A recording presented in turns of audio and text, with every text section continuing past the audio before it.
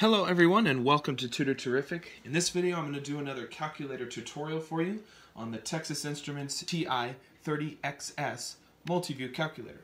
Now this is a second generation multi-view calculator and it's uh, based off of this one which I've reviewed already, very popular review, the TI-34 Multiview. It has the very basic uh, setup just like the 34 does. Um, very similar operating system and style of layout to the 34 Multiview, but it's just a little bit easier to work with, and it's immensely popular for its really nice design. Um, it is an equation operating system based calculator like the other one in uh, that I just showed on the screen. And um, that means that we plug in expressions into the calculator and then we press enter. The multi-view feature has to do with what's called math print, a really, really nice feature that allows you to see your expressions as you would in your textbook rather than on a standard calculator. This is how we turn the calculator on, the on button, and you know it's on when you have a little LCD blinking at the top left corner. So let's do a basic calculation right now. Um, just checking that order of operations works correctly. I like to do 7 times 8 minus 3, just to make sure it does the multiplication before the subtraction. And we should get 53 for our answer. And we do. This calculator puts it on the same row so that you have more room for more calculations underneath. Such as, let's try negative 7 times 8 minus 3. Now how do I get a negative on this calculator? Well, for most Texas Instruments, there's a little button down here um, that has the minus sign next to it. And so I can do, um, watch what happens when I start typing. Negative 7 times 8 minus 3. You can see it populating the next row down. This answer should be quite different. Negative 59. It's still doing the multiplication before the subtraction. So order of operations is correct. Now, let's say you wanted to clear your screen so that you wouldn't see a bunch of calculations all at the same time you would press the clear button right here. So it clears out the calculation. I want you to know that if you want to repopulate uh, the screen with a calculation you previously did, you don't have to type it in all again from your memory. You can use what's called the memory feature by pressing second enter. That can give you your previous calculation or by scrolling up, which can give you your previous calculation. Let's say I wanted to edit this guy. Let's say I wanted it to be 2 times negative 6 divided by 4. Do I have to just start over? No. What I can do is press the up arrow twice, press enter, and it will allow me to edit the calculation that I did. So I wanted it to be 2 times negative 6. So I'm scrolling over with this, uh, this little cursor here to the negative 6, and you see the delete button? I can either delete all these operations and press negative 6 times 4, or alternatively, I can do the following. I can overwrite my calculation. Now, for calc these calculators, if you have two signs next to each other before a number, such as multiplication and then negative, you might want to put the uh, negative in parentheses. So I can start typing negative 6 and these are the parenthesis buttons right here. Open parenthesis and close parenthesis, like so. And then divide by 4. So this is called the overwrite feature. Now if you didn't want to do that, you could do uh, another option. Again, I'm going to select it. Say I wanted to just insert those few extra keystrokes. I can press second insert now you see the sixes blinking in and out with a little uh, underscore sign underneath it. That means if I the next button I press will insert that keystroke in front of the six. Check that out. So now it says two times parenthesis six. I want a negative, so I'm going to put another negative there. And then watch as I scroll to the right. It starts blinking with the black dot again. That means it's going to go back to overwrite mode if I keep typing keystrokes. What I want to do is I want to insert, again, in this position, a close parenthesis. And at any point, I can press enter to evaluate, or I can scroll to the end if I want to see the whole thing first, and then I can press enter to evaluate. Of course, I would get negative 3. This calculator can do, on the same screen, up to four calculations. And so you can see your past four calculations on one screen. Now another neat feature this calculator has, like all the multi-view calculators, is the toggle feature right here, which allows you to toggle between fraction view and decimal view. So I'm going to set up a calculation that gives you a proper fraction. And first I want to make sure in the mode category, I want to make sure I'm in classic mode, not math print mode for this demonstration, because Want to show you how annoying it can be to work in classic mode when you have a math print mode. To get out of menu, we press second mode. which is the quit feature. Now, I want to explain, for those of you who don't know, I've been using it a little bit. The second feature, right here, allows you to access the uh, functions on top of each button, and they're on this calculator in green. There's lots of color combos for this calculator. So if I press second and any button, it will activate the feature directly above. So when I press second mode, it activates quit instead of mode. You know you've got the second button depressed when you see a little second symbol up there on the screen. It's tiny. Also notice that I'm in degree mode, which is another mode option at the top of the screen, which means when I use sine, cosine, and tangent, it will uh, assume I'm in uh, plugging in degrees for angles. Okay, so I'm going to show you uh, that toggle feature, the decimal to fraction back and forth toggle. So I'm going to type in a very simple calculation that's going to give me a fraction, 7 minus 4. And um, then I'm going to, oh, shoot, I want that all in the denominator, so I have to, I can press second delete to insert some parentheses so the calculator knows in classic mode that this is my entire numerator. Then I divide by something larger, so 8 plus 6, for example. So it's going to give me, naturally, a decimal and it's not a nice decimal, but um, it's a decimal nonetheless. And by the way, it just, just points out that I uh, want to show you that these um, numbers are uh, defaulted to floating point style, and so we see a large decimal, and what floating point means is we have a bunch of digits, and the decimal can be used and moved around in a different spot, so I can have a certain number of digits before and after. As you can see, there's um, up to 10 digits by default on this calculator that are used. Now, if I want to see this answer instead as a fraction, check this feature out.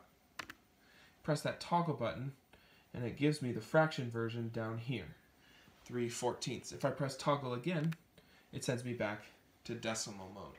Now I'm going to do a calculation like that previous one, but I'm going to be in math print mode so I can show you the difference. So again, press the mode button, scroll down on your mode button, until you see classic highlighting and blinking, and move the cursor over one until math print is blinking. Press enter to highlight it. Now we're going to be in math print mode, which is what most people default to when they have this calculator. To get out of the mode menu, we press second mode, which is quit. Now, I'm going to do that same calculation. I have another option, okay, and that is n over d. So watch this. 7 minus 4 on top, and then on bottom, 8 plus 6. So this is what the math print feature does. It allows me to see it like this. And it will actually give me the answer as it would appear in a textbook in fraction mode first. And I can, of course, toggle back and forth between that and the decimal. Look at how it's showing the fraction when I toggle back and forth. Not as a slash fraction, but a normal top and bottom vertical oriented fraction. I want to also show you square roots and how MathPrint does those. So I'm going to clear this out. I'm going to go back to classic mode and I'm going to show you square roots. So in classic mode, to get to square root, you press second x squared and it gives you a square root with a parenthesis. And now we'll put what we want to find the square root of inside. 8 times 8, for example, which is 64. Square root of 64 is 8, so we should accept 8. Okay, so pretty basic. Now, in um, math print mode, which I'll go into now, I want to show you the difference. So if I press second squared, look at the difference. It has the square root radical symbol over my entire expression right now. And I don't need parentheses because it follows me as I type numbers, which is really, really interesting. But I'll do the same calculation. I press the arrow button here, the, the right arrow, to get out of the square root. And now I press enter, and you can see the same result. So it's quite nice.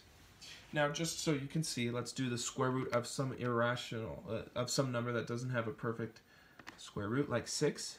Again, press the, as you see, it's we're still in the square root when it's blinking with the little arrow symbol, but if we press right, we're outside of it.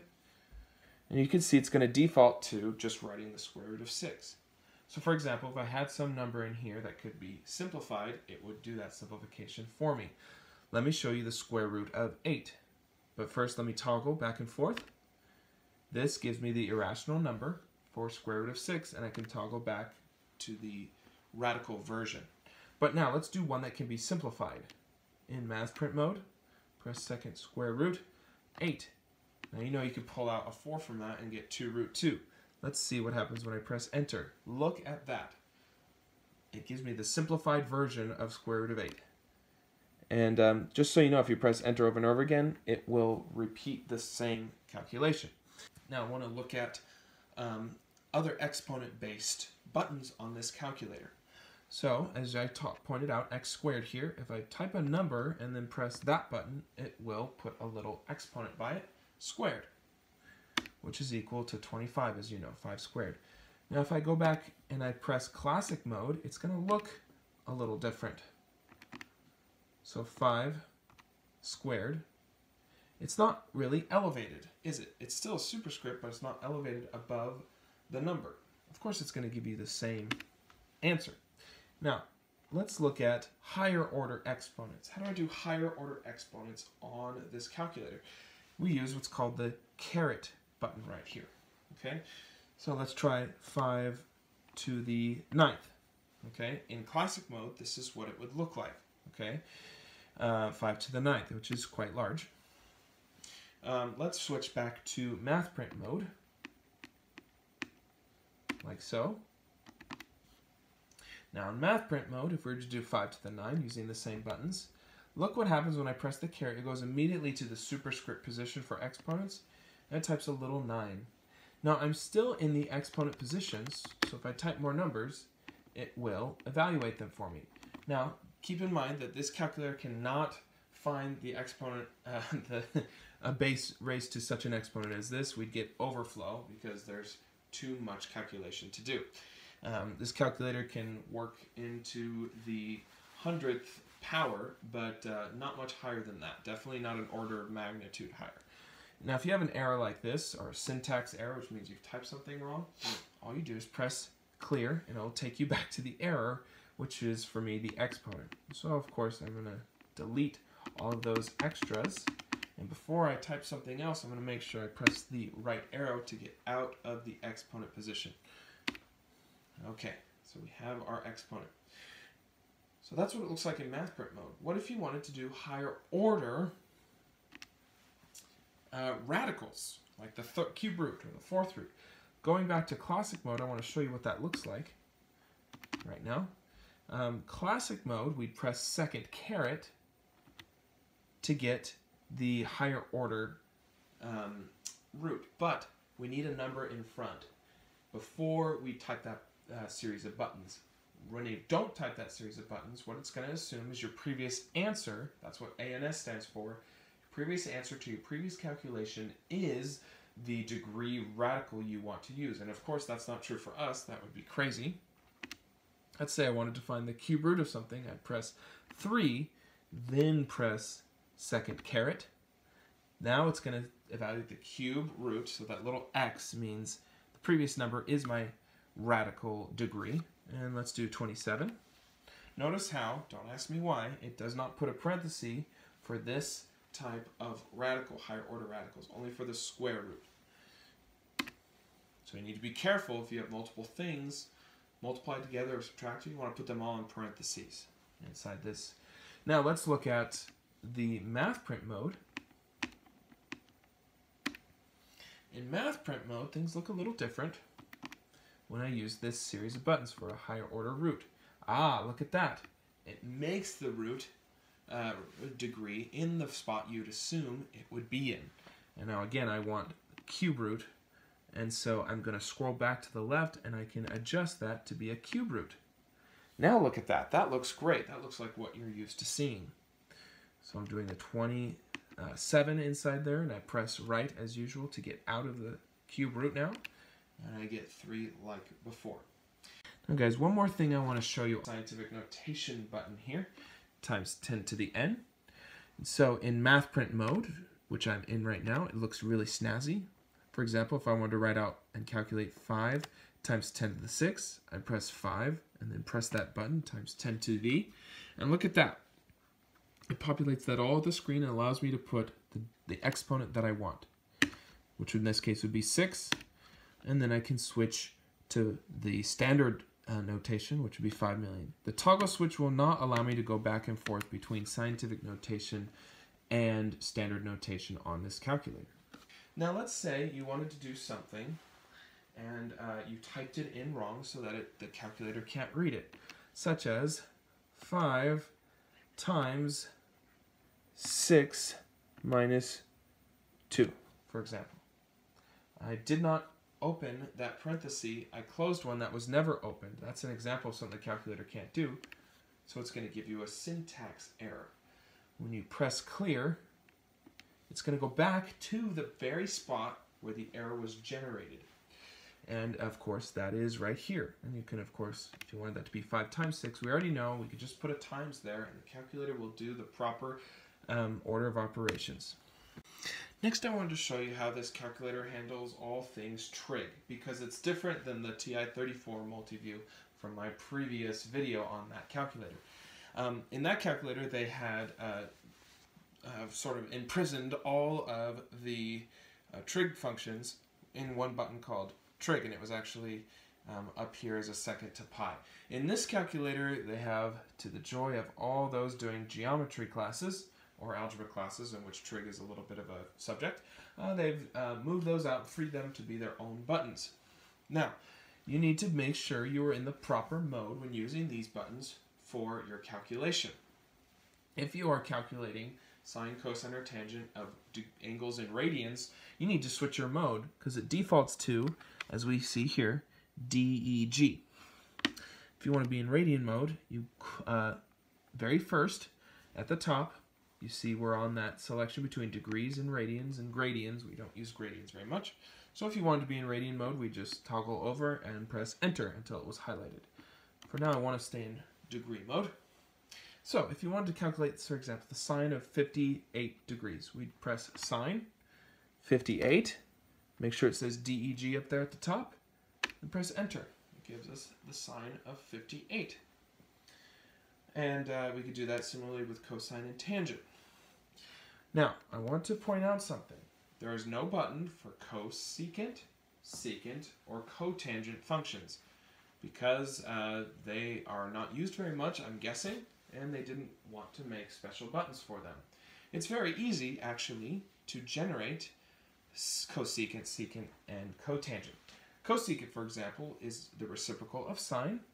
So what we would do is we'd actually do, uh, we could do a, a fraction in math print mode, 1 divided by the sine of 58.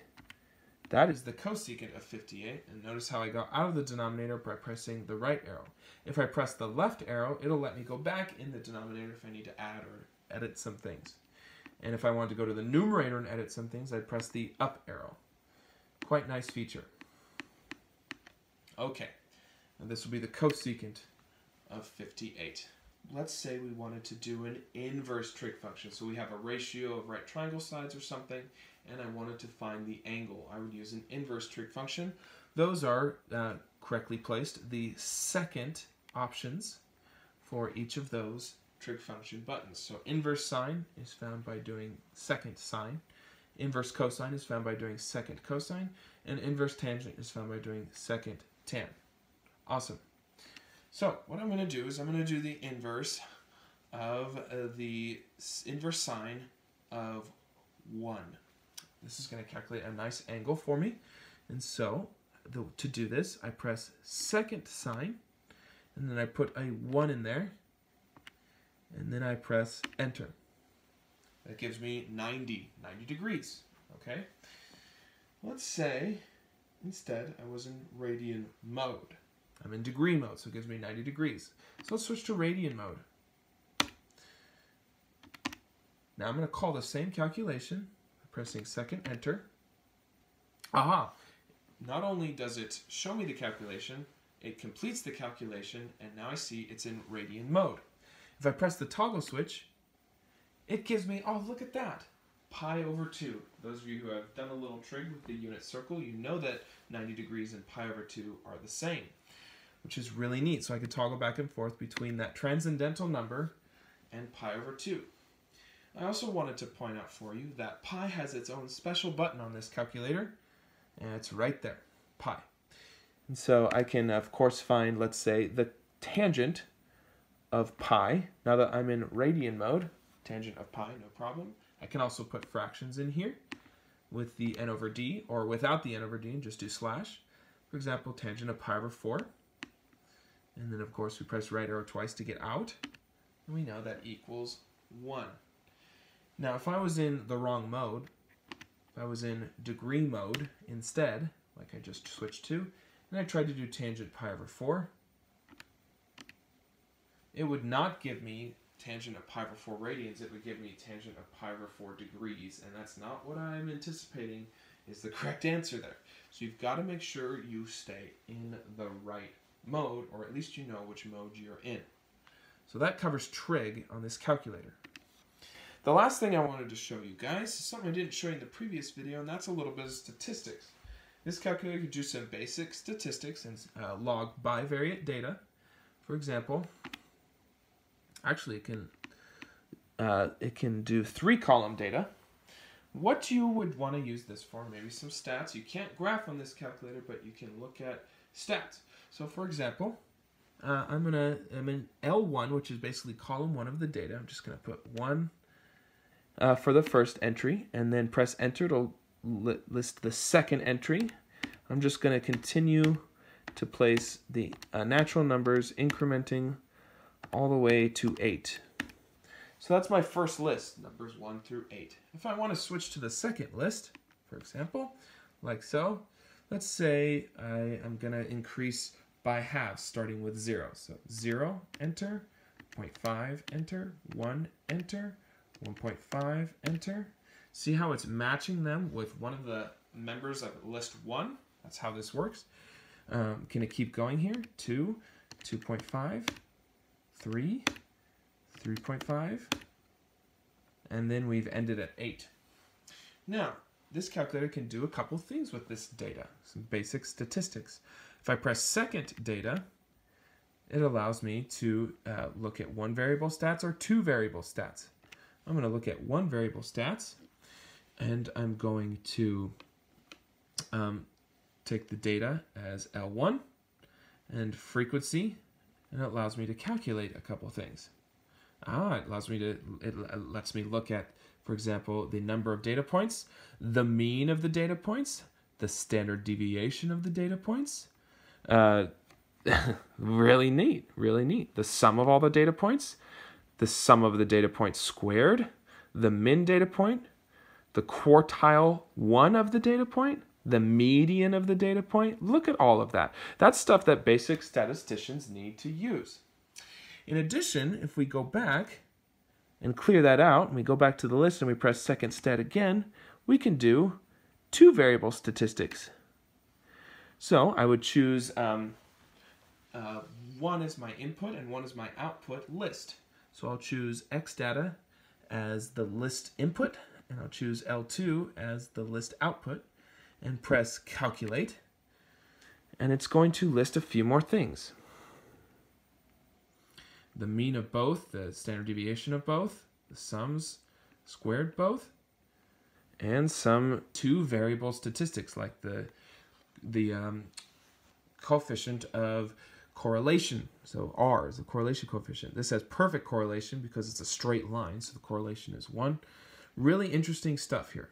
If you wanted to clear your data lists, you could certainly do that by pressing, if you're in the data itself, pressing data again. And um, if there's ever a menu like this, you can either scroll to the menu item you want to activate or just press the number next to it. So I just pressed number one, which cleared list one. If I press data again, I can either scroll down and press enter or press the number two at any point and it clears that list as well. So I get a fresh slate. If I want to get out of the data window, I would press second quit. All right, guys, that's been a short introduction to this calculator. I hope you've enjoyed. Thanks for watching. This is Falconator signing out.